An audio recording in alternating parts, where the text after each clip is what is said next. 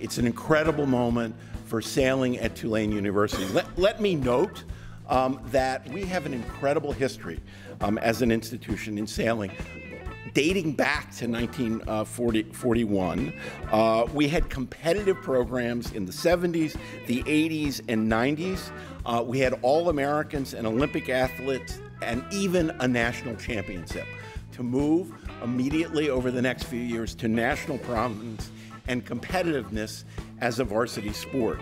Um, and they've done this not only in providing a generous endowment for sailing, but also making an investment in the construction of new facilities out on the lake um, in partnership with the Community Sailing New Orleans Incorporated, um, which will benefit all of New Orleans as part of this uh, program.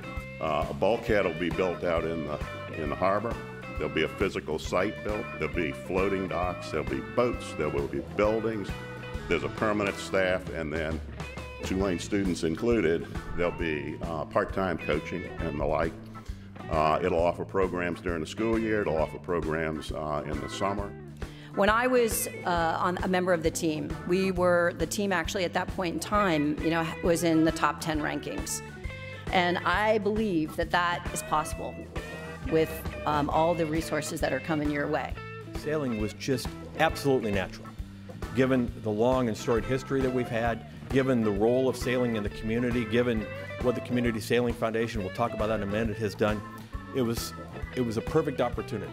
Our team is not just successful because we are good sailors, but because we are all friends who share a common goal of competing to the best of our ability.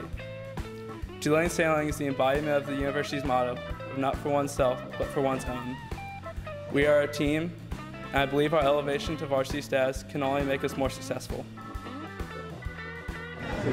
We are uh, thrilled to continue uh, to develop uh, the sport of sailing, uh, college sailing here at Tulane, and community sailing in, in New Orleans.